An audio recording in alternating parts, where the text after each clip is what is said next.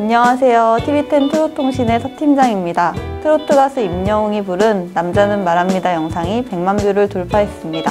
이 영상은 2019년 10월 17일 임영웅 공식 유튜브 채널 임영웅에 올라온 영상인데요. 임영웅이 부산 KBS 임성환 노래교실에서 가진 남자는 말합니다 무대가 담겼습니다. 이날 임영웅은 깔끔한 정장 차림으로 등장해 눈길을 끌었는데요. 특유의 호소력 짙은 목소리로 노래를 불러 객석의 환호를 이끌었습니다. 특히 영상에는 코로나19가 없던 시절 객석을 꽉 채운 관객이 하나가 돼 임영웅을 응원하는 모습이 담겼는데요. 팬들은 이때처럼 다시 모두가 하나 되는 시간이 찾아오길 기원하고 있습니다. 지금까지 버릴 소식이 없어서 준비한 트롯통신이었습니다.